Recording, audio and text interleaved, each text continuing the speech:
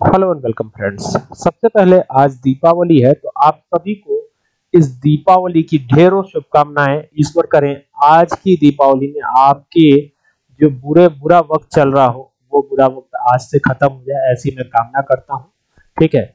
और दीपावली की शुभकामना देता हूँ। और आज का सवाल आज वीडियो वैसे मैं बनाना नहीं चाहता था, लेकिन एक सवाल मुझे पूछा गया है। बलिया के रहने वाले हैं तिवारी जी, जिन्होंने सवाल पूछा है सर वैट पर अलग अलग हमें टैक्स रेट सेट करना है। जैसे अलग अलग प्रोडक्ट्स जो होलसेलर पार्टी से बिल मिला, उस पर अलग अलग रेट जीएसटी रेट सेट करना सॉरी वैट रेट सेट करना है। जैसे एक प्रोडक्ट पे कुछ लगा, दूसरे प्रोडक्ट पे कुछ अलग लगा हो, तीसरे पे अलग लगा हो, चौथे पे अलग लगा हो, इस तरह का टैक्स रेट हमें सेट करना है। तो ये कैसे होगा? तो चलिए आइए उसी को समझेंगे, ठीक है ना? तो सबसे पहले चलते हैं परचेज बाउचर में, ठीक है? तो परचेज वाउचर में जाने के लिए यहाँ से बी प्रेस कर सकते हैं या क्लिक भी कर सकते हैं। और परचेज वाउचर में हमें जाना है तो यहाँ से आगे परचेज वाउचर में। अब सप्लायर ने जो आपको बिल दिया, उसका बिल नंबर आप यहाँ पे डाल सकते हैं। ये बिल नंबर मान लीजिए ये दिया हो तो ये बिल हो गया इस डेट पर अगर आपको बिल मिला हो इसी डेट का तो यहाँ पे डाल सकते हैं। अब यहाँ पर हमें सोचना है कि हमने कैश में परचेजिंग की है या उधार की। तो मान लीजिए उधार की करी तो यहाँ अल्ट के साथ सी प्रेस करके एक लेजर क्रिएट कीजिए, किसका? क्रेडिटर पार्टी का, जिन्होंने बिल दिया उनका, ठीक है ना? तो यहाँ पे लिख देता हूँ सप्लायर पार्टी सप्लायर पार्टी इस तरीके से लिख दिया मैंने सप्लायर पार्टी और ये सप्लायर पार्टी क्या है? ये क्रेडिटर पार्टी होगी गया मेरी सन्ड्री क्रेडिटर ठीक है ना? तो यहाँ से सन्ड्री क्रेडिटर का नीचे ग्रुप नज़र आएगा, आप चूज़ कर लीजिएगा। यहाँ से देखिए, मैं चूज़ कर रहा हूँ एंटर किया।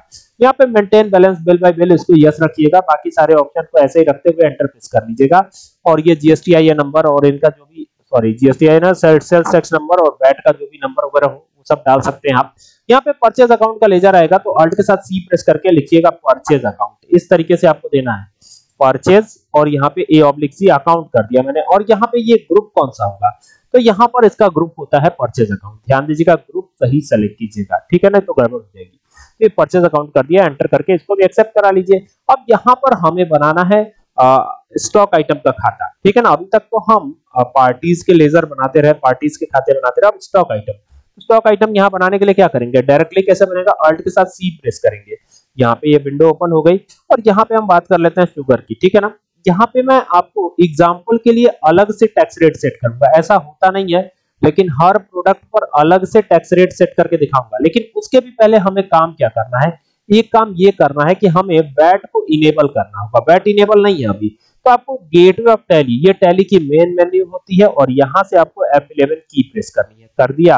यहाँ से आइएगा स्टेटरी एंड टैक्सेशन दिया हुआ है, इस पे चले जाइएगा और यहाँ से वाई बटन अब देखिए ये जीएसटी तो हमें चालू नहीं करना, हमें वैट चालू करना है तो वैट पर आकर के वाई बटन प्रेस कीजिएगा, ये यस हो जाएगा और यहाँ से इसको यस कर लीजिएगा यहाँ पे हम उत्तर प्रदेश के रहने वाले हैं और जो भी आपका टीन नंबर वगैरह होता हो, वो टीन नंबर आप यहाँ पे डाल दीजिएगा। फॉर एग्ज़ाम्पल मैं कुछ भी ऐसे डाल दे रहा हूँ एग्ज़ाम्पल के लिए, यहाँ पे आप कोई बाई डिफ़ॉल्ट अगर टैक्स रेट सेट करना चाहते हो तो यहाँ से यस करके जा सकते हैं। जैसे मान लीजिए तीन परसेंट और यहाँ पे एडिशनल टैक्स दो परसेंट। यानी कुल मिलाकर के पाँच परसेंट का टैक्स सेट किया और इसको भी आप चाहे तो यस कर सकते हैं एंटर करिएगा एंटर करिएगा।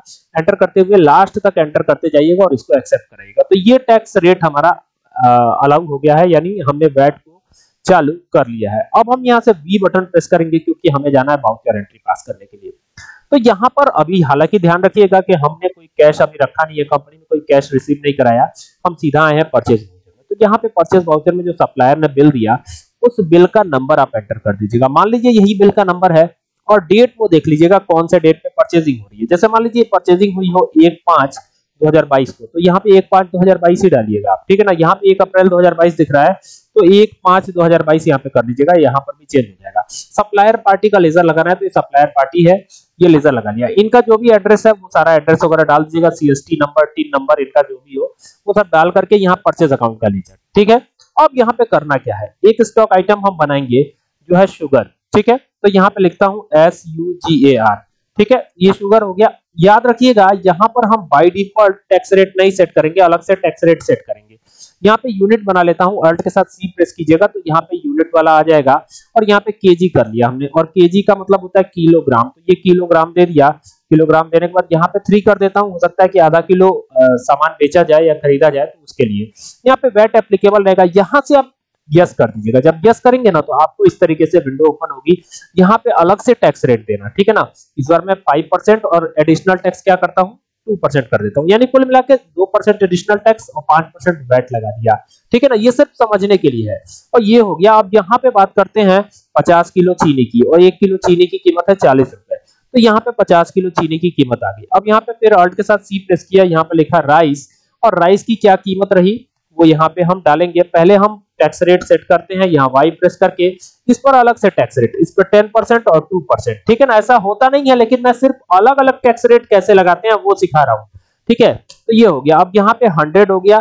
ठीक है? और मान लीजिए कि चावल है चालीस रुपए किलो तो ये चालीस रुपए किलो के हिसाब से यहाँ पे आ गया इसका टोटल अमाउंट ठीक है ना? इसी तरीके से और भी चीज़ कर सकते हैं आप। ठीक है ना? तो यहाँ पे लिख देता हूँ, कच्ची घानी। कच्ची घानी, ये हो गया। और यहाँ पे एंटर करिएगा एंटर करिएगा एंटर करिएगा तो ये बिकेगा लीटर तो अल्ट के साथ सी प्रेस करके लेजर सॉरी यूनिट बना सकते हैं। यहाँ सिंबल पूछा गया तो एल टी आर लिख देता हूँ और एंटर करते हैं। L I T R E litre कर दिया एंटर करेंगे। यहाँ पे थ्री कर देता हूँ डेसिमल पॉइंट्स को ये करने के लिए। और यहाँ पे वाई बटन प्रेस करके यहाँ पर अलग से टैक्स रेट तो इस पर मैं 18 परसेंट का टैक्स रेट और दो परसेंट का एडिशनल टैक्स या ज़ीरो परसेंट रख देता हूँ। एडिशनल टैक्स ज़ीरो परसेंट रख दिया, यानी कुल मिला के एटीन तो हर एक पर अलग अलग टैक्स रेट सेट हुआ है। यहाँ पे 20 लीटर की बात करेंगे, एक लीटर की कीमत है, एक सौ चालीस रुपए। तो ये देखिए कुछ इस तरीके से आ गया, ठीक है ना? अब यहाँ पे नीचे आएँगे और यहाँ पे क्या करना है आपको? यहाँ पे लेजर लगाना वैट का। तो वैट का तो लेजर बना नहीं, क्योंकि बी प्रेस करने पर यहाँ पे वैट का लेजर दिखाई दे रहा है, नहीं दिखाई दे रहा है, ठीक है? तो यहाँ ऑल्ट के साथ सी प्रेस कीजिएगा और लिखिएगा वैट ठीक है ना? खाली बैट का लेजर बनाना है, यहाँ लिखिएगा ड्यूटी डी प्रेस कीजिएगा तो ड्यूटीज़ एंड टैक्सेस का ग्रुप आ जाएगा, यहाँ पे एंटर कर दीजिएगा। देखिए, हमें क्या सेट करना है? वैट सेट करना है तो यहाँ से वैट चूज़ कीजिएगा। ठीक है? और यहाँ पे कुछ भी नहीं करना, यहाँ पे कोई भी छेड़खानी नहीं करनी है। यहाँ पे आगे बढ़िएगा एंटर करिएगा और यहाँ पर इस तरीके से ये वैट कैलकुलेट हो जाएगा। ठीक है ना? जितना परसेंट दिया गया उसके हिसाब से ये वैट कैलकुलेट हो रहा है। अब फिर यहाँ पे एडिशनल टैक्स के लिए बनाना चाहते हैं। तो ये लिखा एडिशनल टैक्स ठीक है? तो ये कर दिया एडिशनल टैक्स और यहाँ पे एंटर करिएगा एंटर करिएगा। एडिशनल टैक्स क्या है? यहाँ पर आइएगा। ये आ गए एंटर किया और यहाँ से आकर के नॉर्मल राउंडिंग करके एंटर करेंगे एंटर करेंगे और इसको एक्सेप्ट कराएँगे। तो ये 120 रुपए। देखिए एडिशनल टैक्स भी आ गया। ठीक है ना? अब यहाँ पर हम क्या चाहते हैं? हम ये चाहते हैं कि हम टैक्स का एनालिसिस देखें। ठीक है ना? तो यहाँ पर आपको क्या करना है? अल्ट के साथ ए प्रेस करना है। ठीक है? अल्ट के साथ ए प्रेस करेंगे तो यहाँ पे टैक्स का पूरा एनालिसिस आपको देखने को मिल जाएगा। देखिए, यहाँ पे दो परसेंट क्या लगा हुआ है? एडिशनल टैक्स लगा हुआ है। वैट की डिटेल अगर चाहते हैं तो यहाँ पे और भी यहाँ पे डिटेल पे चले जाइएगा। तो पूरी डिटेल आपको मिलेगी, किस पे कितना टैक्स लगा, ठीक है ना? तो यहाँ पे एडिशनल टैक्स और वैट दोनों ही आपको दिख रहा है, ठीक है ना? किस पे कितना लगा, ये भी आपको दिख रहा है। अब हमें प्रिंट करवाना है इसको। तो पहले हम इस बिल को सेव करेंगे तो लास्ट तक एंटर एंटर एंटर करते जाना है आपको। ये कर लिया। अब इस, इसका बिल जब निकालना होगा तो आपको करना क्या है? यहाँ से दो बार डी प्रेस करना है एंटर करना है अल्ट पी कर देना है। जैसे ही अल्ट पी करेंगे ना तो नीचे कॉन्फ़िगर ऑप्शन आएगा। कॉन्फ़िगर पे चले जाइएगा। तो ये यहाँ से कॉन्फ़िगर पे जाइए। और यहाँ पर हमें अलग से टैक्स रेट प्रिंट करवाना है, ठीक है ना? वैट हमें अलग से प्रिंट करवाना है। हम चाहते हैं कि आइटम वाइज वैट प्रिंट हो, ठीक है ना? तो यहाँ पे आइटम वाइज वैट को प्रिंट करवाने के लिए क्या करना होगा? यहाँ पे देखिए, नीचे जो है दिया गया है F12 यानी कि और भी डिटेल आप देखना चाहते हैं तो F12 प्रेस कर लीजिए। ठीक है ना? और यहाँ पे देखिए, ये आ गया वैट तो यहाँ पे वैट का एनालिसिस देखना चाहते हैं। ठीक है? और print VAT percentage column VAT का परसेंटेज कॉलम चाहिए तो ये भी यस कर सकते हैं। ठीक है? तो यहाँ पर रेट ऑफ़ ड्यूटी तीनों को यस कर दिया। कंट्रोल ए किया कंट्रोल ए किया। और यहाँ से अब हम क्या करेंगे? यहाँ से प्रिंट प्रीव्यू करेंगे हम। प्रिंट प्रीव्यू के लिए क्या करना है हमें? विद प्रीव्यू के लिए यहाँ पे जाएँगे हम, ठीक है ना? तो ये यहाँ से एंटर करिएगा।